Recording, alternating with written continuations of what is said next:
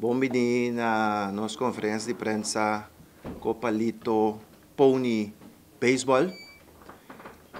Maneira de conhecer nossa Copa Lito a vira uma tradição na Boneiro. Nós arranca ali. Hope aí passar com carreira de Lito. Depois nós seguimos com Copa Lito Futebol Juvenil. Um evento que a começar com mais ou menos 200 mucha e jovem. E cresce, vira um evento muito grande com mais de 800 participantes. E agora Copa Lito Pony Baseball. Um danke na Bonera Wolfpack Baseball Foundation, que é motor tras do evento aqui.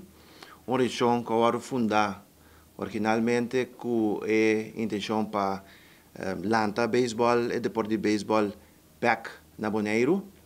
E focus a começar com a estava muito de 3 para 6 anos, depois a expandir para muito de 7 para 8 e agora me mira que já acaba de cobrir é diferente unang, o 6 com o 16 com diferente equipo. Então assim na mira que região aqui a binta cresce den e ayanan ku nanta existi e caminha mais e mais, mais e mais muito e jovem está participando.